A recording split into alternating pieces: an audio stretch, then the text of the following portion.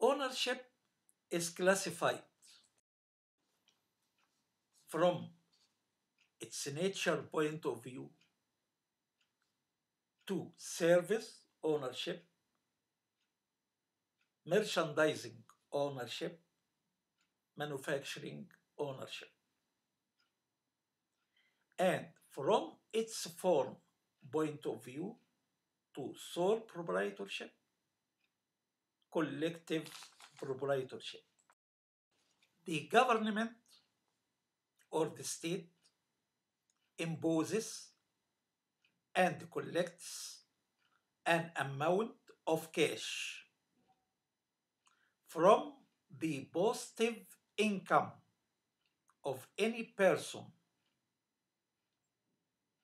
to maintain social and economic welfare.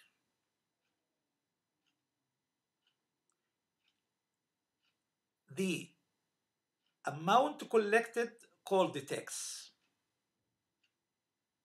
It differs from penalties.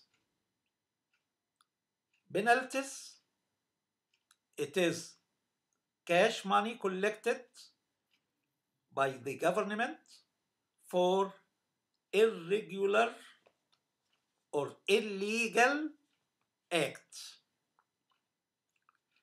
The income of the person, according to tax law, can be determined by estimation of the tax authority or regular and accepted accounting books. Regular and accepted accounting books, according to the tax law, will be kept if one of the three conditions occur. First, the invested capital exceeded 50,000 pounds. The yearly turnover exceeded 20, 250,000 pounds, or and the net profit exceeded 20,000 pounds. The regular and accepted accounting books are journal book and inventory book. The trial balance for merchandising concern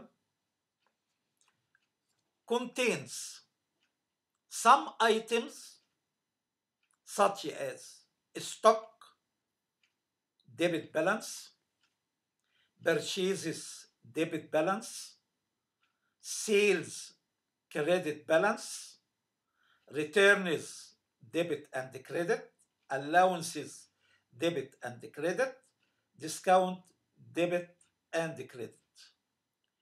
A stock, it means unsold goods, or it has another meaning. It means shares and debentures. Shares and debentures bought and sold on a certain place called stock of exchange.